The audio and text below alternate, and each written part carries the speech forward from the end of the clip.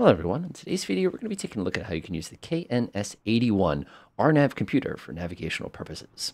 For those of you who are not sure what an RNAV system is, uh, many of you think it's a GPS, but believe it or not, in the days before GPS, you actually had the ability to use VOR stations for the purposes of finding any point in space and using them as navigational references, assuming you had the right equipment on board. Of course, our aircraft today is the lovely Beechcraft Duke. Uh, this is the one that just came out. You can grab it over at Just Flight for those of you who are interested in it. So popping on in here, uh, we have a very, very conventional avionic layout. You'll notice we have no GPS receiver anywhere that you can see here. And the purpose of that, of course, is to demonstrate how this particular unit works. The super duper short version, of course, is that you're going to select a VOR, and then you're going to offset the position of that VOR based on where you want to go ahead and achieve your navigational goal. So if I were to open up a quick little chart here, we have a lovely Connecticut. So we're down here at Hartford Brainerd. We have a VOR station here. And unfortunately, uh, let's say we want to go ahead and uh, use the VOR station to very, very precisely line up for this particular runway over here at Ellington, or perhaps we wanted to do it down here in Meriden, which would be a little more appropriate for us. The thing you have to know is, of course, the VOR station here in Hartford doesn't line up with the one in uh, Meriden. So we, of course, cannot use that directly if we were to do conventional. Uh, some of you immediately say, well, you could just probably just sit here and uh, right click on this one. And then, of course, you could uh, say Hartford and you could right click on this one. And then, of course, you know that you can go at a 251, uh, 251 radial down here at Meriden. That's great, but what it doesn't do is it doesn't line us up for the runway unless we have some kind of GPS. What we really need the GPS to be able to do, or the system, the navigational computer to do, is to put us on something that looks a little bit more like this. We want to be able to approach Meriden coming here at the 170 and not at this goofy radial here. But how do you do that?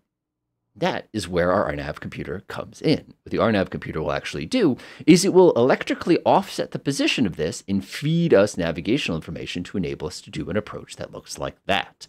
So how do we do all this? Well, fortunately, it's relatively easy for us. To do that, you're simply going to pick a VOR station, and then, of course, you're going to go ahead and identify where you want to offset the VOR to. In this case, we're going to offset it to Meriden. Now, you're sitting here going, um, could we just use that number you did like a half a second ago, like when you went into here and you did one of these things and you read this little radial here? Oh, sorry, that's HFD. We don't want that. We want actual HFD. We want the uh, VOR station here. Let me go right click on that one more time. Oh, we'll go ahead and pop that in there. That's much better. So uh, blah would KHFD, KHFD, HFD. That way it's a little bit more behaving. There we go.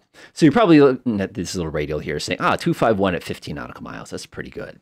But the good news is there's actually tools out there that can make this a little bit easier for you. Again, if you're using SkyVector for this, you can actually open this up and read off the specific positions with their radials and their ranges. That's good news for us because when we get into the computer, we're going to have to go ahead and program that information in before we can start getting fancy. So what I'm going to do here is I'm going to go ahead and get a couple things all sort of set up here. We're going to run off some electrical power on the ground here. I'm not going to be sitting here battling with everything else. I'm going to click external power. They're going to go ahead and plug that sucker in. I need none of my electrical components. I'm going to come over here and hit the master avionics. I'm also going to pop on the main inverter. So this is the unit itself. And uh, when people look at this, uh, they start getting a little bit panicky, uh, but you don't need to worry about it. It's actually really easy. The first thing you're going to want to observe is on the left side, you have all the different modes on it. And uh, to change the mode, you're going to grab the big knob right here and just crank it, uh, which you'll notice here is we have RNAV approach, RNAV, we have our VOR mode, and of course we have PAR mode if you require it too, if you're doing precision approaches. The key thing here is RNAV approach increases sensitivity, RNAV is just kind of conventional. The next thing you're going to observe is we have a waypoint number sitting down here at the bottom. The waypoint is referring to what specific waypoint. We can stir several of these. You can actually adjust it. You'll notice here we go up to waypoint 9. If we go past 9, you can go up to 10 and it starts back over. That's as many of these fancy waypoints you are allowed to have. Again, if you have a co-pilot, this makes this stuff real easy. So one of the things you observe is when I switch to a different waypoint, it flashes. And the reason it's flashing right now is it's notifying you that you're not actually selected this particular waypoint. As a matter of fact, if I press the RTN button, you'll notice it goes back to the currently selected waypoint. So what I want to do is I'm going to go ahead and dial in some of that data using what we had on that other page. Uh, when I pull this back down here, I can see uh, Madison is, uh, we can see 110.40, 345, 13.2. So what I'm going to do is I'm going to go ahead and find myself a blank waypoint. I'm going to go ahead and grab this up to a waypoint 3. And you'll notice these little kind of dashy things here, greater than, less than sort of a piece. This allows me to select and input the data. So in this case, the first thing we're going to do is put in our frequency. So what I'm going to do here is I'm going to come to data adjust. I'm just going to crank this until I get to 110.40. I'm going to press the data key to go to the next option. This is the radial. We're just going to read it right off, and it says 345 degrees. Just dial down to 345. Looks pretty groovy. I'm going to press the data key one more time, and it's going to give us distance. Uh, this is where everybody panics. And remember, the range is 13.2. Uh-oh, uh-oh, uh-oh, uh-oh. don't panic. If you need to enter any small decimals, click to pop this out to go ahead and dial it. Make sure you push it back in. So let's see here. Let's go double check to make sure our work is correct here. 110.4, 345, 13.2. 110.4, 345, 13.2. Fantastic. So what I'm going to do now is this has been programmed as waypoint 3. Now, if I actually want to use this waypoint for the purposes of navigation, I have to click on the Use button. When I do this, I'm basically telling the computer, hey, I would like to use this as my particular point in space for the purposes of actually flying around. Now, one of the greatest things about this is this is now stored in the memory of this airplane. If I exit properly, it'll actually hang on to that particular memory item so I can use it for future flights. Now, there's a couple other things that you need to keep in mind when you're using RNAV. And again, this is depending on what version of the avionics you have, but this is pretty applicable. One thing you're going to need to keep in track is this lovely switch up here. This switch selects between navigational source 1, this would be a typical VOR, which is going to be on our radio over here on the right, or RNAV mode. If you don't click it to RNAV, you will not get updates on our lovely little HSI. Now, if you're wondering why this needle is doing a little happy dance here, it's because we're on the ground and we can't electrically see the VOR signal. It's going to do a happy dance. Another thing you could do, of course, if you want to confirm it, is if you come over here and press the check button, it tends to panic on you if it can't find the actual electrical signal for the actual VOR itself. If we don't have a good signal, it kind of gets all panicky on you. The last thing you're going to notice is we have a DME tool here. And uh, one of the things you notice, which is really convenient, is if I set this to RNAV as my selection, it'll tell me from that particular airport, Meriden Airport, I'm 999 miles, and says it's going to take me forever to get there. And again, the reason it's doing this is because we don't have a signal from that VOR yet. Uh, we have to basically get going for that particular purpose. So what I'm going to do is I'm going to get us over the runway, and then we're going to use a little bit of navigation using it. All right, let's review our plan. So what we're going to do is we're going to take off from Brainerd. We're going to head on a 253 regular heading. Uh, once we cross over this particular point, remember, we've basically electrically taken this VOR and we moved it to Meriden. We're going to grab the 168 radial to take us down to the runway. Now in the sim, to get that all set up, what I've done is I've selected my RNAV mode, I've made sure that I'm using my waypoint number three. I've also double checked to make sure I'm RNAV mode over here so we can confirm it once we get airborne. And I've set my heading bug for the purposes of that initial heading that we're going to be traveling. Last little details I'm going to do here is I'm going to double check to make sure everything else is looking pretty good. Get some heat going on. It's a little cold in here. And I'm going to go ahead and check my cabin altitude. That looks pretty good to me. 2,500 will be our cruise altitude today. It looks pretty set. So let's go ahead and get in the air and uh, start flying this flight here.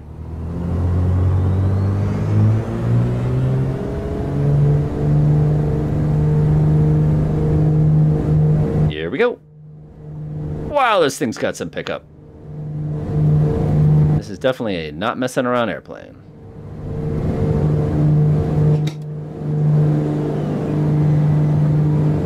Very nice. We're just going to proceed up a little bit, get a little tiny bit of altitude. We'll go ahead and do a very naughty maneuver. We're going to go ahead and take my right turn right away. We're going to pretend that we own the sky kind of a thing.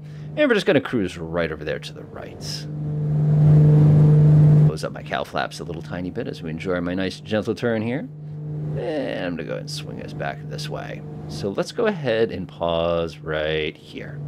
All right, a lot of things are happening. Actually, what I can do now is I can actually reduce my power just a little bit because it is technically still running in the air right now. One of the things you'll notice now is I now have an RNAV readout. You'll notice that I've got 15.1 nautical miles to get to my destination. This is my speed and this is my time. The other thing you'll observe is if I come down here and press the check button, you can actually read out the exact information from the actual VOR. Next, we notice that this needle has finally come alive here and is starting to do its little happy dance like a real VOR as you can click it with your finger if you need to. And lastly, of course, you can see we're still in the RNAV mode. So I'm going to go ahead and unpause here. Go and enjoy my nice gentle climb out. Again, we're doing this basically on our initial heading here. We're not doing anything too, too excessive. I'm going to go ahead and double check to make sure my pitch knob is centered. I'm going to activate my automatic pilot. I'm going to go to navigate. Whoop, no navigational hold. That would have been bad. We will go ahead and press heading hold though. And we're going to let the aircraft go ahead and kind of start sneaking its way towards our target here. I'm going to push the nose down just a tiny bit here. There we go. We just got a warning. We have less than a thousand feet to get to our particular altitude. Good time, of course, to run around, check to make sure everything else is good. Cylinder six, what are you doing? 340. Yeah, we got plenty. plenty of overhead. Let's use it warming up in the cabin. 62 is enough. Whoa, got some really, really good uh, classic Connecticut turbulence going on this morning, which is always going to happen. There we go. Enjoy the nice little bounces. I say enjoy the bounces, folks. Enjoy the bounces. So a bunch of things I know that the system is working. Uh, first of all, I noticed that it makes sense. If you remember from our image earlier, we're traveling west to basically grab onto that VOR to bring us down to the ground. I'm just going to kind of basically say, leave me alone. Next thing I observe is actually we can go ahead and set some cruise power here. There we go. That'll be perfectly acceptable for us. Anything in the green is considered okay. Delightful. Let's go ahead and close up the cowl flaps. Check our temps. 368 is fine. It's under 390. We're good to go. All right, so now we're going to be cruising here. I can see we're about 12 nautical miles away from Meriden itself. Remember, the computer is constantly calculating this position. By computer, this guy. Uh, the other thing we notice is that we're approaching it at about 140 knots, which makes sense because if you think about it another way, you can see right now that we're about at an oblique. We're basically perpendicular to our desired course as we're starting to approach it. Now, one of the things that gets really interesting here is if you look super duper carefully out that left wing, you can actually see where Meriden Airport is. Keep in mind, none of this navigational technology or equipment is going to work if we don't have a good VOR signal, which makes this stuff vastly more effective once you have a little bit of altitude underneath you. So I'm taking a look here. I can see very clearly that this is starting to choo-choo over to the side just a little bit. Again, remember, this is going to be that little position we got. Check my numbers one last time, 168. It looks good. Turbulence is wicked bad here. Temperatures look pretty good. Power looks good. We could lean the mixture and everything if we wanted to. Not really critical for this particular flight. We could, of course, be fitting with the weather radar and doing all those other things. But those are for other videos because there's so much to do with this airplane, which is what I love about it. Now, one of the interesting things here, and uh, this is a really, really big point, is the RNAV only can be tracked with the automatic pilot if you have no GPS. If you have any form of GPS on board your aircraft, you will not have the ability to track it. So let's fast forward to where that needle starts moving. There we go. We can see it starting to do its little happy trance back towards the middle here. That's exactly what we want. So I'm going to go ahead and switch on navigational hold mode. And what the aircraft is going to do in a moment is it's going to execute the world's lamest left turn. As a matter of fact, I'm going to kind of give it a little bit of a hand here. You can see that heading mode is currently selected, navigation is armed. And the reason navigation didn't click on is because of the fact that we're basically uh, not we haven't captured it, if that makes sense. We have to grab it for navigational mode to kind of kick in here. So looking down there, looking pretty good to me. I'm just going to finish up the turn myself. Just, like I said, give it a little bit of a nudge here. Now remember, this signal is coming from a VOR that is being interpolated by our computer to tell us where we need to go for the purposes of aligning with it. And you can see here that it's just starting to basically center up. We're going to be able to capture it in a few moments. And now the most fascinating thing I think you'll find, I haven't looked at that in a while, we're good.